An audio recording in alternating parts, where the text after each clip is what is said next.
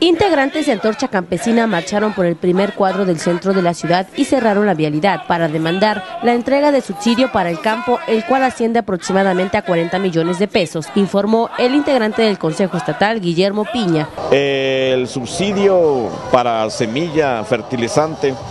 y, y fungicida para los productores de plátano de la zona de San Rafael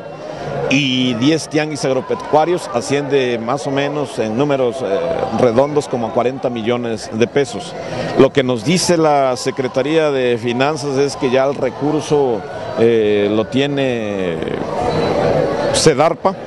pero que por problemas administrativos, es lo que nos han dicho los funcionarios de CEDARPA, no se están ya aplicando. Y es que dijo que la Secretaría de Desarrollo Agropecuario Rural y Pesca no les ha entregado el recurso, lo que preocupa a los campesinos, pues ya a finales del mes de mayo deberán comenzar con la siembra de maíz, plátano en las diferentes zonas del centro. Pues en este año ya estamos a mediados prácticamente de mayo, la siembra se hace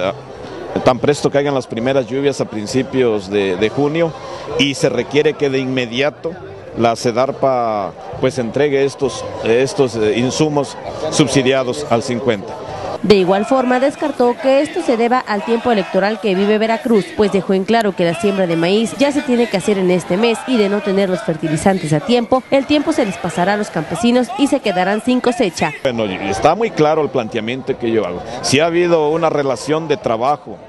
para beneficiar a veracruzanos con el gobierno del estado, de ninguna manera eso nos lleva a que nosotros no tengamos que exigir ahí donde tenemos razón, donde se trata de familias veracruzanas que están requiriendo de, ese apoyo para poder salir adelante con sus familias. O sea, que no está cumpliendo con su trabajo. Desde luego que nosotros estamos exigiendo al gobierno que ponga la parte que le toca, porque los campesinos van a, ellos están dispuestos a poner el 50% del costo de la semilla, de los fertilizantes, ¿no? En ese sentido, dijo que permanecerán en un plantón indefinido hasta que el gobierno resuelva su problemática, informó para OYTV Telmetzel Miranda.